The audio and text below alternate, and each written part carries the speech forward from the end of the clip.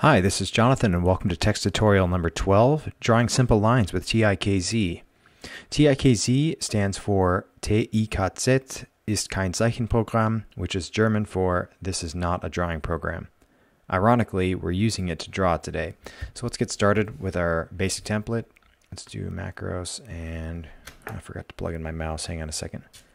Let's plug that in there. Okay, good. Um, all right, we've got templates, basic. Uh, I made this, delete all that junk. Now we've got our article class. We can get rid of the font. We don't, who cares? Doesn't matter. You can leave it there. Um, package, fontspec. We've got to load a new package. We're going to load today TIKZ. Um, we're going to have a new environment. We're going to say begin TIKZ picture. And we're going to do that again. TIKZ picture. And in here, we can draw lines. And everything we're going to do is going to be on a, on a, a Cartesian plane. So we're going to draw a grid. The first thing I want to do is we're going to say draw.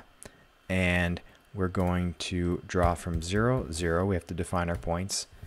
Grid to, let's just say 8, 8. And you have to put a semicolon at the end of any command in this environment, just so you know. I'm going to review that 100 times. We hit typeset we'll see we get a nice grid.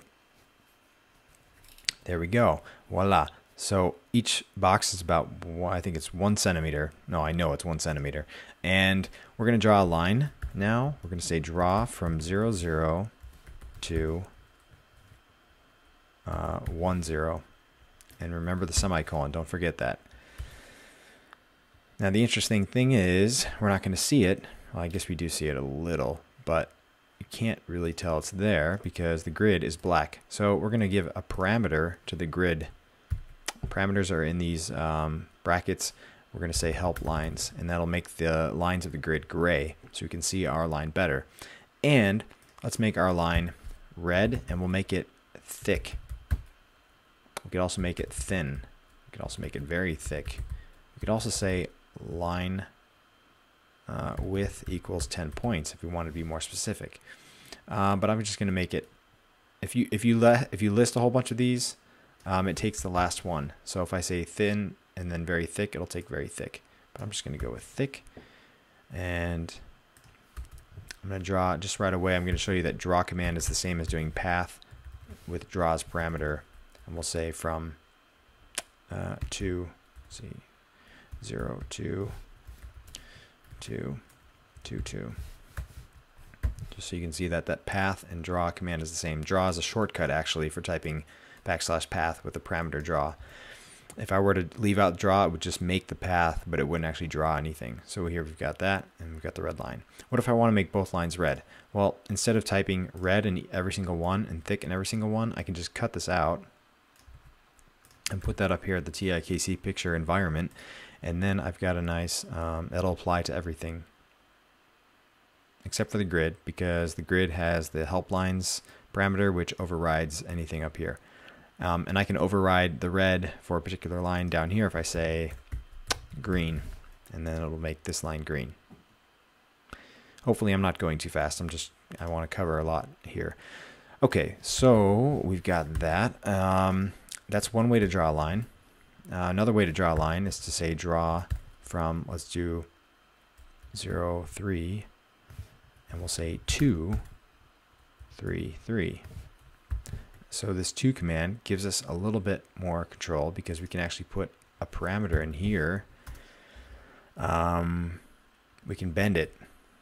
Um, we can say bend left and we can put 20 in there. And what that says is um, bend, if you're standing at this point and looking at this point, it would be to your left. So it's actually, if we're over here going in this direction and we say left, it means the line's going to bend up a little bit instead of down. If I say bend right, it'll go down and we can just test that. We'll see from three, three. We got a line that bends down just like that. Another way to do that if you want more precise controls, you can say out and you can give a specific degree. So this would be zero degrees, this would be 90, this would be 180, this would be 270 degrees. And let's just make it uh, 270. So it'll come out from the bottom and then it'll go in to 90 on the second point. So it'll actually come around, it'll make an S. Uh, let's see if that works. So, yep, there we go.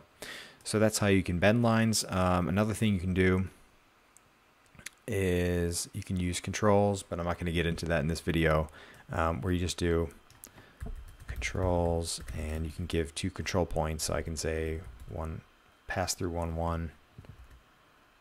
Um, well, I don't want to do that in this video. Okay. Um, okay, and the other thing you can do is I want to draw um, a square. Let's get rid of this. Too confusing for right now. Let's draw a simple square. So we got 0 to 1. Then we go up to 1, 1. Then we go back down. Is that right? No, wait. We go up. Now we go up 1. And now we go back to 0, 1. And then back to 0, 0. Now, instead of typing back to 0, 0, I can also do this. I can say cycle. And it will connect wherever the last point this last point was, it'll connect it to the first point. So cycle or zero, zero in that case will draw you square. And these are absolute points. So I just want to make a big deal about that. If I just make this 2, 2, just for fun, let's make it a bigger square.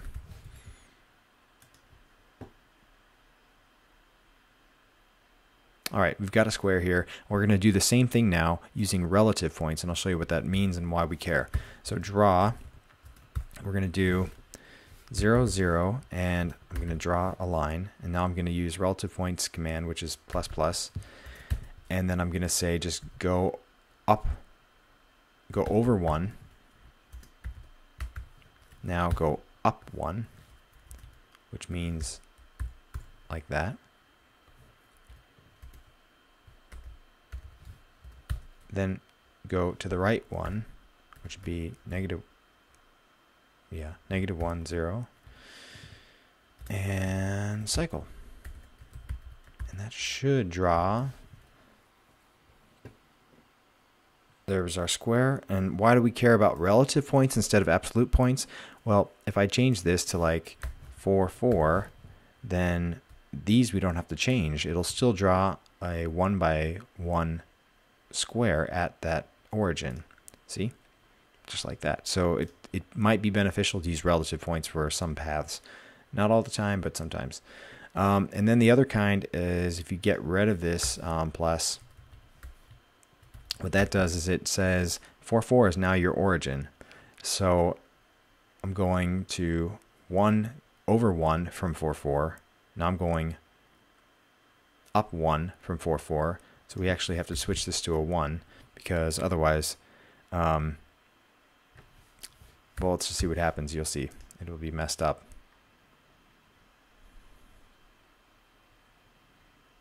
See, that's not what we wanted. So you have to go over uh, to 1, 1. And there's no negative in here. It'll just be um, 0, 1 and cycle. And that should be a square as well. There you go. So it just treats 4, 4 as the origin if you use 1 plus. And this one, uh, if you use two pluses, then it uses the previous coordinate as the origin. Um, so instead of cycle here, I would actually, I wouldn't type 4, 4, I would type 0, 0, um, and it would draw the square the same.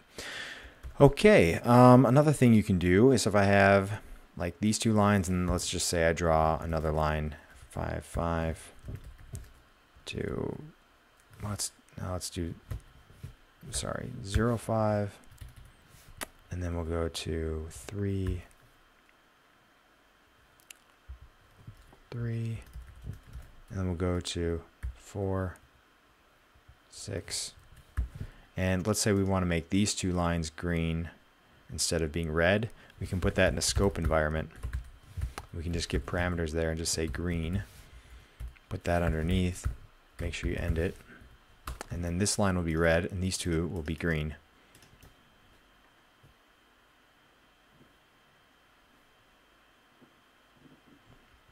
Okay. So that's the line we drew. Um, four, six. Let's add another point, and then I'll show you how to you can I can bend these.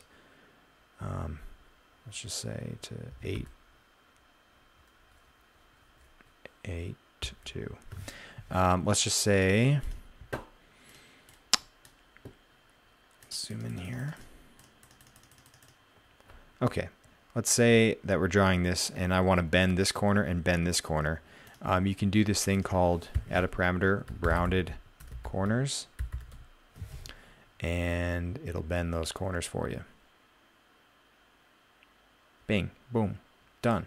Okay, now if I want to like do it for, if I have a long line with a list of points and I want to do it just between, like round a couple corners, just between these two, um, then you can put that in this, uh, the, the brackets for the scope environment, post that, paste that in there, make sure that this comes after these two dashes, that comes after that.